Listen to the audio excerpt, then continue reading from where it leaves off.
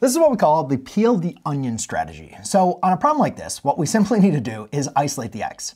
It seems fairly basic on this, but there's a lot that's happening to this x, right? We have it multiplied by 2 here, subtracted by 4 here, and then we have the square root of it, then it's being multiplied by 2, and then it's being subtracted by 4. So to go ahead and solve for x, we need to understand how to approach this, what we're looking for. Well, when we have a function, like a square root or a power or a fraction or a rational function or a sine or cosine or any whatever logarithm, whatever the function may be, there's an inside and an outside of that function. For the square root or a radical, anything that's under that radical is going to be what we call inside of our function. So what we're going to want to do, focus on first, is to isolate that function. So right again, the square root function is going to be our function. We need to isolate it. So what that means is we need to undo the 2 and the 4. So which one do we choose? Because a lot of students will make the mistake, they'll start reducing these with the x, because these are directly impacting the x. And no, if you think about an onion, right, the onion has many layers inside of it.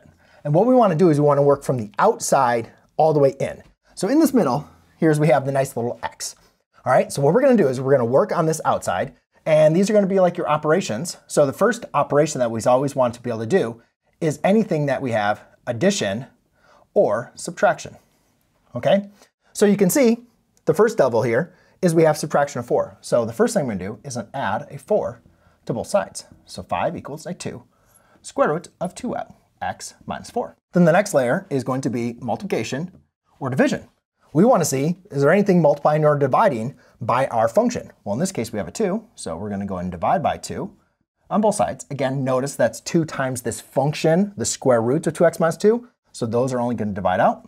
So now I'm left with a 5 halves is equal to a square root of a 2x minus 4. Now we have obtained, now what we've done is we've isolated our function. Okay?